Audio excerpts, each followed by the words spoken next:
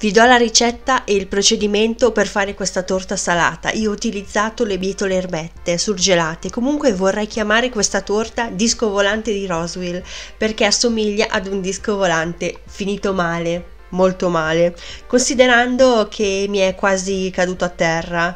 Comunque si è distrutta ma si comincia a preparare le bietole mettendo in una pentola circa 400 ml di acqua e quando essa ha cominciato a bollire bisogna mettere all'interno i cubi delle bietole e fate cuocere per una decina di minuti i cubotti da quando il contenuto della pentola ha cominciato a sobbollire. Comunque una volta cotte le verdure bisogna scolarle ed eliminare l'acqua in eccesso schiacciandole per bene, dopodiché mettetele in una padella con un filo di olio di oliva extravergine.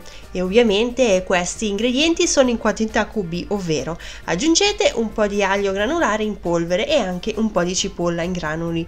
Io ho aggiunto sempre queste spezie perché sono più comode, se volete potete mettere mettere anche le spezie fresche. Io ho aggiunto anche mezzo cucchiaino di brodo vegetale in polvere.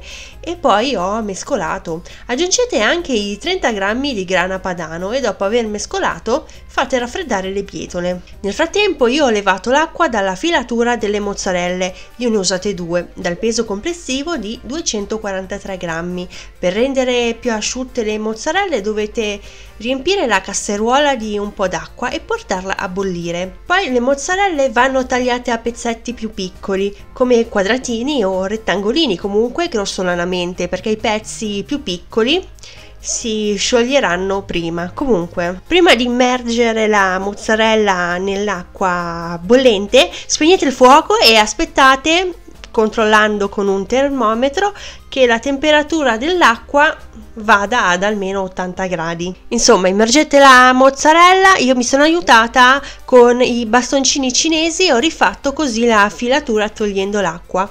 Questo è il risultato, praticamente dovete far sciogliere la mozzarella e tirarla e rifarla su. Solo quando la mozzarella si è raffreddata per bene bisogna tagliarla a pezzettini con un coltello, dopodiché io ho utilizzato la pasta sfoglia rotonda già pronta in quantità di due rotoli. Il primo rotolo di pasta sfoglia va adagiato sempre sulla carta forno, anche sopra le griglie del forno e con una ciotola ho segnato la parte centrale della sfoglia per poi avere una guida.